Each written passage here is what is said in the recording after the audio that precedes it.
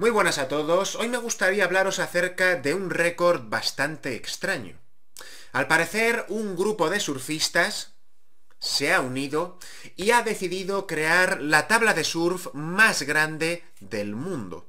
Una tabla de surf que solamente la tabla pesa 589 kilos, en la cual se han subido 47 personas, es decir, casi unos 3.000 kilos de peso, y han conseguido mantener el equilibrio y la tabla no se ha roto. Además, han conseguido también surfear una ola de unos 10 metros con total éxito. Obviamente las personas que veis a continuación no son aficionados. Son personas que se dedican al surf y que saben guardar el equilibrio en una tabla de surf normal. No obstante, pues tiene mérito que hayan sabido guardar el equilibrio pues, en una tabla de estas dimensiones, ¿no?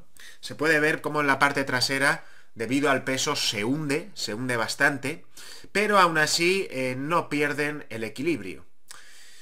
Estuvieron montados encima de la tabla de surf durante unos 12 segundos, y esto ocurrió en la playa de Huntington, en California.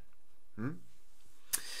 Un récord mundial bastante impresionante que, eh, bueno, no solamente requiere la creación de la tabla de surf, que ya de por sí es complicado y muy caro, sino que todas las personas que monten en la tabla tengan un equilibrio perfecto y sepan manejar una tabla de surf de casi 600 kilos.